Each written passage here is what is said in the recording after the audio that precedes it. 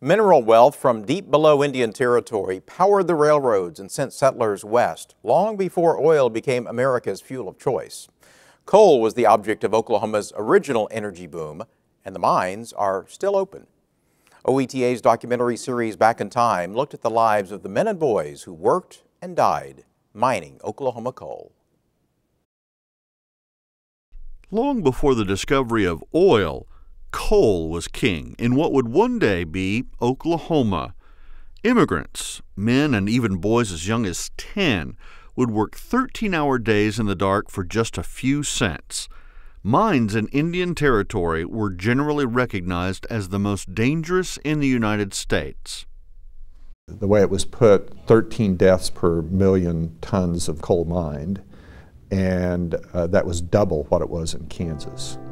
Uh, during the territorial period, with Indian Territory having no real governmental structure, uh, the idea was that there was almost no regulation, and so there were, there were, the mines were more hazardous because of that.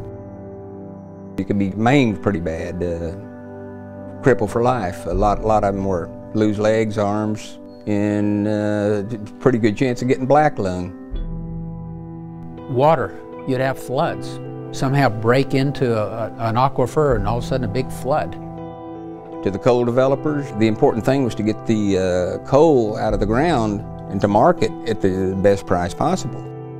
If they were in the ground, working in the ground, and the uh, the ground would start moving, you could feel it, a creak. The first thing you did was get the mules out of the mine.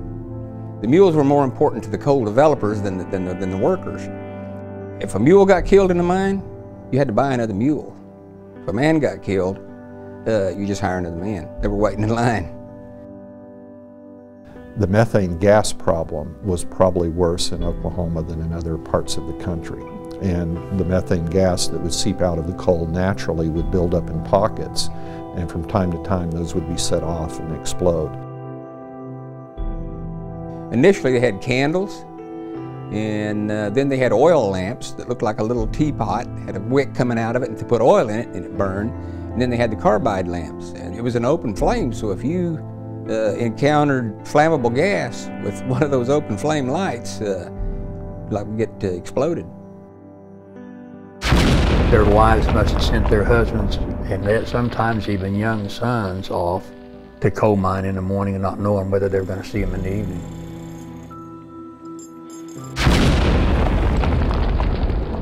They had things called windy shots, and methane was all in these coal mines. So if they had too much powder or too much spark happen when they were, were blasting the walls, it would carry throughout the mine. It'd go a mile, mile and a half. Um, that's why in 1892, mine number 11 for the Osage Coal Mining Company, they had a, a disaster. 100 people were, were killed, more than 200 were injured. Um, from what I understand, it was a windy shot that, that spread through the, the mine so rapidly people couldn't get out. A lot were uh, trapped. And then a lot of people died trying to get back in and save them. As the miners were preparing to leave shaft number 11 at Krebs, operated by the Osage Coal and Mining Company, shortly after 5 o'clock last evening, a terrific explosion occurred, spreading earth among 400 miners or more at work. The exact cause of the catastrophe is unknown, but it is supposed some miner fired a blast without authority, the blast igniting either the gas or coal dust, causing the explosion, which was terrific. Flames went skyward a hundred feet or more, followed by a report which was heard for miles. Vernon Courier, Indian Territory, January 8, 1892. That was, at the time, about the third worst disaster in American history of this type, a coal mining disaster. Safety conditions were awful. Uh, pay was low.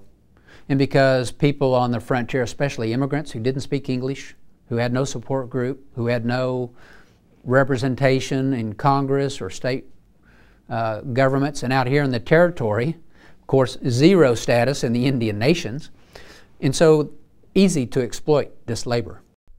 They raised families, built communities, and found a hard living digging in the dark. It was a dangerous job with few rewards for the men and boys that lived and died mining Oklahoma coal.